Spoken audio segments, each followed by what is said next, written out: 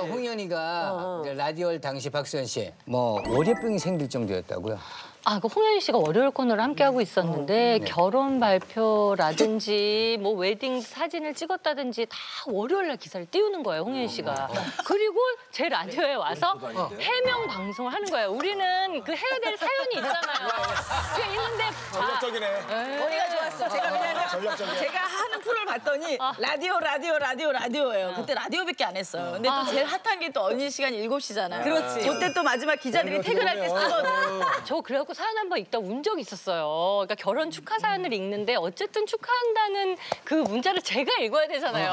홍현희 씨 축하합니다. 홍현희 씨 축하합니다. 근데 본인이 옆에서 나 너무 행복하잖아. 아, 감사합니다. 막 이러고 있는 거예요. 근데 그거를 읽어주는 제 처지가 너무 진짜 너무 짜증났구나. 힘든 거야. 그렇지. 그래서 현타 오지, 현타 오지. 현타 와. 본인 라디오랑 결혼했는데 야, 너무 힘든 거야. 그래서 본인한테 아, 너 행복하니? 그게 생방에 나갔어요. 막 뭐 하다가 행복하니?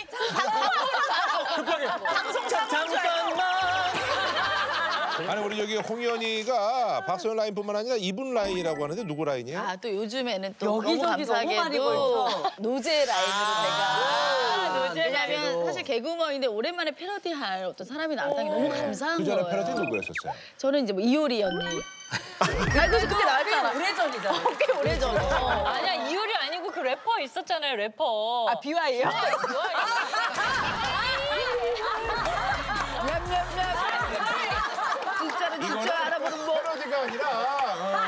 그냥 해먹네.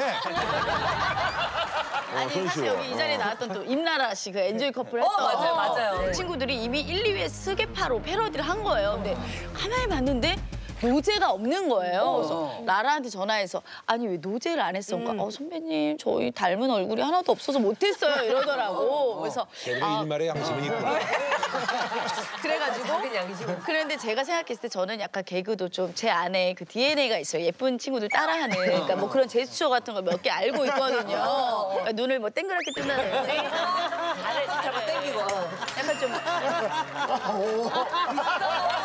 그러니까 이거 한번 해보겠다 이래서 그날 노제 씨랑 표정을 똑같이 해가지고 사진을 몇 개 찍어 보냈어요. 그랬더니 어 선배님 진짜 똑같아요. 어떤 표정이야? 그러니까 예를 들어서 노제 씨가 항상 딱 보면 똑같잖아 그거랑 어, 아까 거랑. 아, 비와이랑 똑같아요? 아니야. 머리 길은 비와이. 머리, 머리 길은 비와이. 내가 볼 때는 어. 호연이 언니는 어. 옛날상이야.